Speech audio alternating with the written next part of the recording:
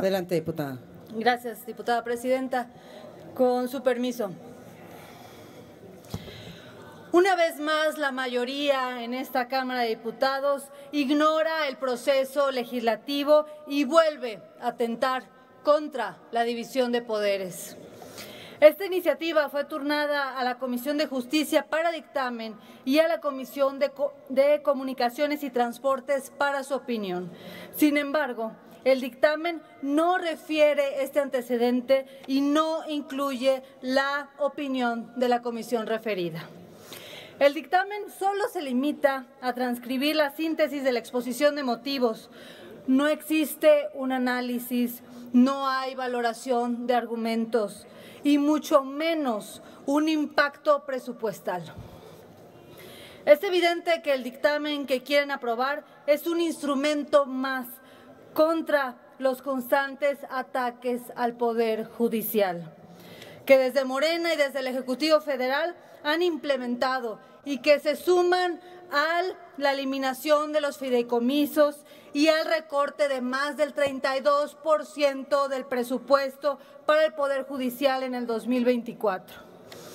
El servicio postal mexicano es el más antiguo de México y es un factor de inclusión de la población, facilitador de la actividad económica y garante de las comunicaciones interpersonales para todas y todos los mexicanos. En la bancada naranja reconocemos que CEPOMEX es una institución que no tiene respaldo, pero sí la relevancia y fuerza para dar la batalla. Hoy se pretende reformar el artículo 28 para que los servicios telegráficos del Poder Judicial tengan un costo. Y esto al final se va a ver en un costo reflejado a las y los mexicanos. No podemos permitir que se pretendan este tipo de reformas que no solucionan el problema de raíz y no garantizan la viabilidad financiera del servicio postal mexicano.